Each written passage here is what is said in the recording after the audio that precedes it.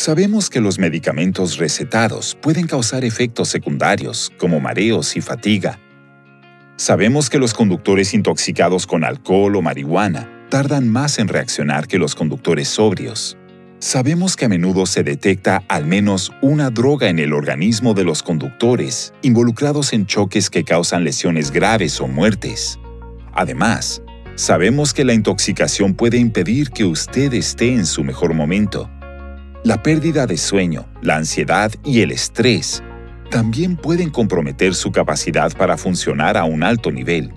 Entonces, ¿por qué asumimos tantas tareas? ¿Por qué nos arriesgamos? Sabemos que hay momentos en los que arriesgarse puede rendir frutos. Se puede aprender algo nuevo, se puede conocer a alguien especial, se sale de la zona de confort para lograr un objetivo. También sabemos que la conducción segura requiere que usted esté en condiciones óptimas. Debe estar alerta y listo para reaccionar en un instante. Hay que conducir para llegar